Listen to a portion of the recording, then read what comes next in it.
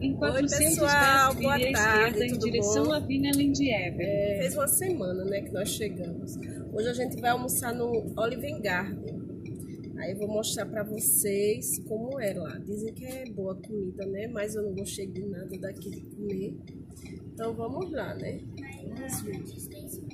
Sim, aí depois de lá a gente vai na Disney Springs e aí eu mostro pra vocês como é. Lá, viu? Tchau e até daqui a pouco.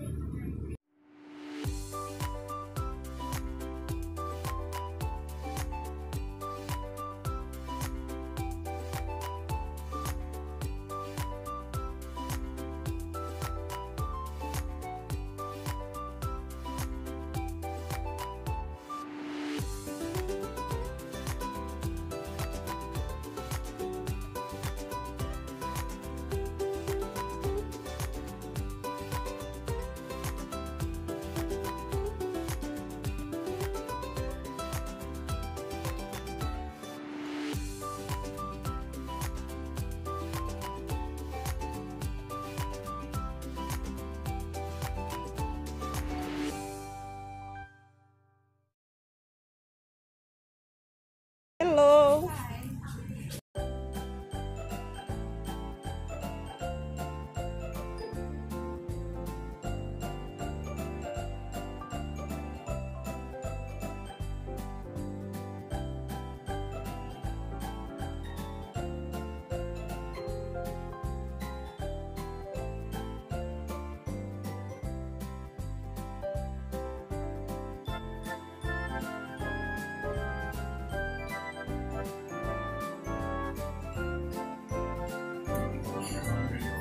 Chegaram, deram logo um livrinho para as crianças, para elas distraírem enquanto a gente faz o pedido.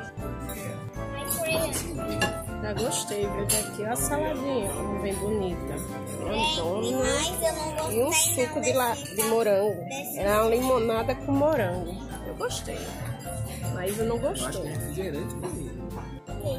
Quem não gosta de... É, quem não gosta de, desse suco vai de água, né? Isso aqui é um pãozinho que dizem que é muito bom, viu? Vou ver o sabor. É um pãozinho bem gostosinho. Não é essas coisas todas, mas é gostoso.